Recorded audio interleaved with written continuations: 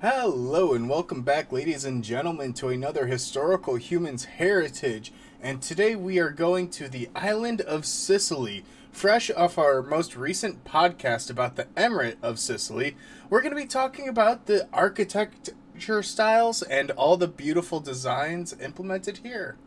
Right? Yes.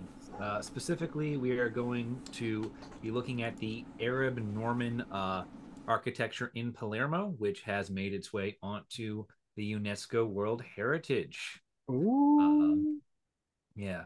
Uh, so these were uh, uh, the, these um, sites uh, that have made this listing are actually a collection of two palaces, three church churches, a cathedral, a bridge, as well as uh, two cathedrals located outside of Palermo, one in Cefalù and the other in Monreale.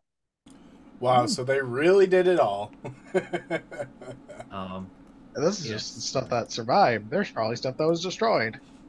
yes. Um, these uh, yeah these nine structures all date to the Norman Kingdom of Sicily, uh, specifically 1130 to 1194. Uh, and they feature a unique cultural blend of Byzantine, Muslim, uh, and Roman uh, architecture, uh, as well as experiencing influences from Jewish, Lombard, and French culture.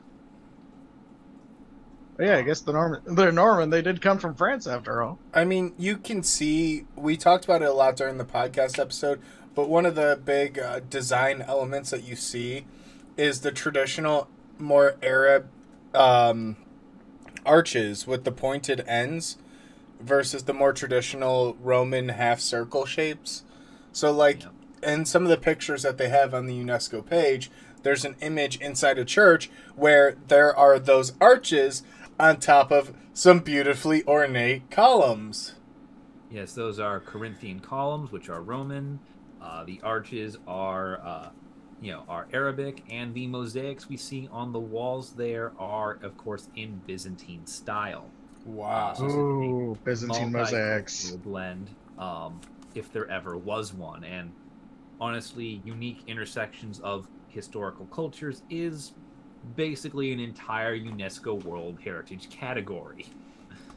Uh, that's the big reason why these are all on the list is because they are all uh, beautiful examples of what happens when you take multiculturalism to the nth degree. It And the Nor the Normans really said, you know what? They're doing some good things. But be better. Who are we Yeah. to stop good things, you know? We we just let them keep doing their things, you know? Hey, So- would you guys like some funding? yeah, it's it's almost as if they it's almost as if they were at the crossroads of a dozen cultures and said, you know, you all do one thing really well. What happens if we all do one thing together?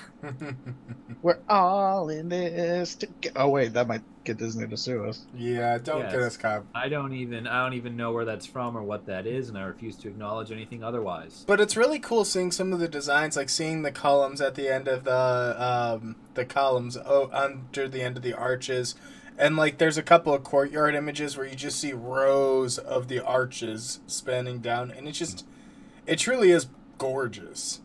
So does it say that the those? Because did they actually steal those columns from like other sites, or did they like No. actually make them in the them style? after it. Okay. no- no- Because they did do that Yeah. Sometimes. no, no, yeah, no. That's not what the Normans were interested in doing. What the Normans were interested in was taking other things and using them in a new way. Okay. I also really think we lost the art of murals. Like, I think that's both really beautiful, but I would love to walk into like a shopping mall and look up and just see artwork all over the ceiling. Yeah. We should just bring back mosaics too. yeah, while we're at exactly. Yeah, Instead Like- of just seeing them in gentrified neighborhoods. yeah. Yeah, What, what do you what do you think? What do you think the Normans were doing to Palermo? they were They're gentrifying. gentrifying it. Are you telling me the Normans it were? Hurt. gen- Well, let, let's think about it for a second. If we go back to our uh, podcast, which you definitely listen to, the Arabic buildings built by the Emirate were modest and of simple uh, stone make.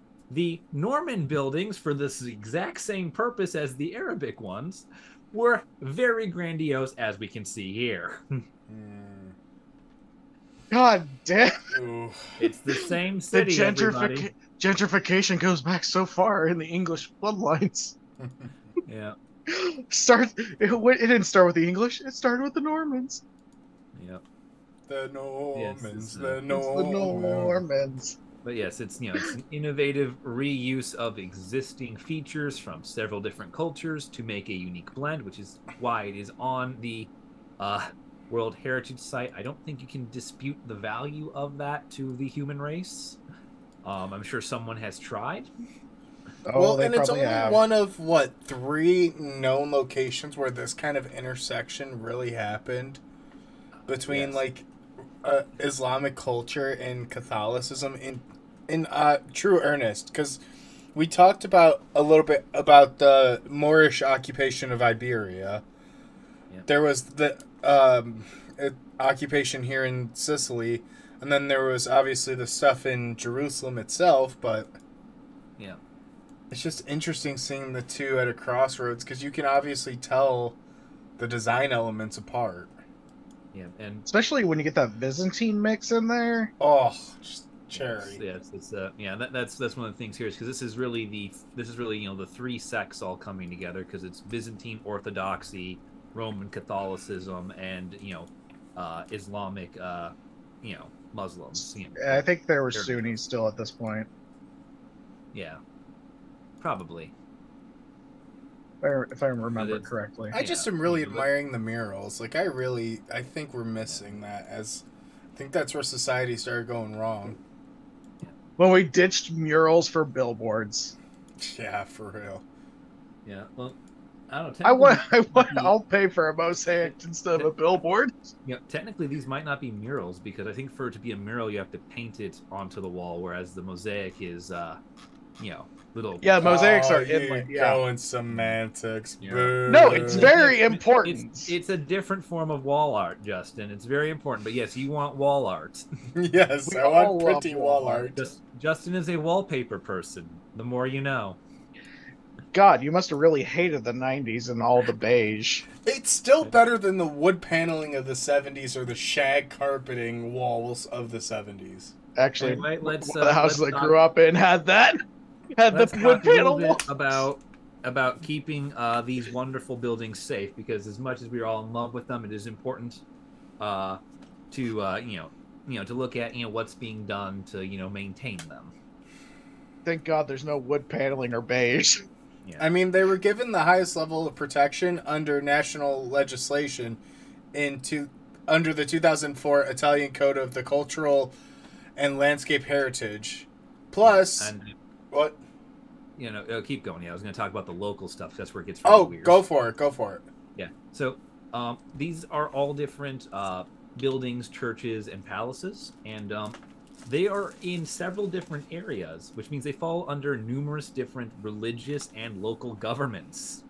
Which means that for the protection that's not at the national level, they've uh, had to create uh, a couple of interesting uh, uh, buffers. Uh, the first is getting several of them individually declared national monuments, which allows the national government regulation to take over for everything.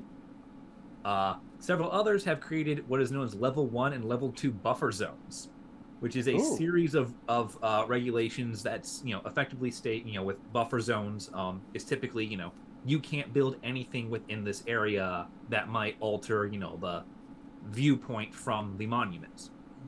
Well, well, the layering of the buffer zones, they've all come to unique agreements about what can and cannot be done within certain uh, measures and certain directions of the building. So, like, there might be a limited area where nothing can be done, and then a further area where only certain alterations can occur.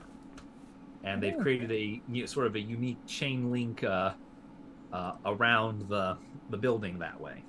Honestly, I like that approach. This is the first time we've come across layered buffer zones. Maybe they should have the the English could learn a thing or two and you know, not build a highway under Stonehenge. I know that's still upsetting to you, Aaron. I uh, will yeah. never forgive them. a- a- The Italians do it right, y'all. a- Additionally, um, they've actually created a um, uh, a you know memorandum of understanding, which has created a management plan to sort of unify the governance of all these properties uh, as they are under a single listing on the UNESCO Heritage Site, which means that a loss of UNESCO viability for one could mean a loss of all of them from the register. Oh, that's So scary. they've got a, uh, you know, they've got that extra layer of um, protection going on of just, you know, all of them just at the local level, just quick, everyone, close hands, link arms. They're Yeah. gonna. Ah, they're really beautiful though. I wish I could have got to go visit that part of Italy. And yeah, and with, with Justin's point earlier, yeah, the highest level of protection under national legislation in Italy is, well, it's higher than in most nations. I think it's, I believe it's definitely higher than in the United States. They they do it right. they just, yeah, Uh, the entire island is a national. Let's be honest, all of the entire nation is a, a national heritage site. Honestly, I mean, like most of Europe probably could, uh, like have like just has so many surviving monuments. We probably would have more in the states if you know land developers didn't just like to bulldoze over things. That's right. I'm going to talk smack. I'm going to talk some smack about our own country. Look at the Italians; they're doing such good things. Uh, the number one risk to these sites is, um, uniquely enough, it is n- not anything to do with tourism or humanity, but it is to the fact, but is due uniquely to the fact that they are located on the island of Sicily, St. Um, Enna's there, yeah. right? uh, which has been ha- which has been uh, has number one threat identified as seismic activity from Mount Etna. I was say, yeah, like, yeah, wasn't Mount Etna there? It's like, Yeah. is it Yeah, still? is- I didn't think it was still active. Um, the volcano may not be erupting, but earthquakes are a problem. Fair, fair. Uh, Sicily has been devastated in the past by uh, the single most uh, dangerous earthquake to ever hit Europe. So, oh, uh, that's right. The African seismic activity on the island is the number one threat to these. So it's the Yeah. exist- the fact that it's on Sicily makes it a threat to its existence. Yeah, because the African plate's pushing upward into the Eur- into the Eurasian plate, right? I'm not that well versed on the nuance of plate tectonics, but probably. Yeah. Okay. yeah, because I don't, I don't think, yeah, I don't think Europe is pushing into anything at the moment. I think it's. Oh no, like I think it's like it, the African plate's pushing into the Eurasian one, is what it is, Yeah, or like going under it, something like that. yeah, There's a fancy geography or uh, geology term for it. yeah. But yeah, I think that's about all there is to it. Interesting. Just put, just like put, just sur- just wrap the churches and everything and bubble wrap. You know, it'll be fine. just predict the earthquakes. Get the bubble wrap. Yeah. Uh, Well, on uh, that very protective note, I think that's a great place for us to leave off.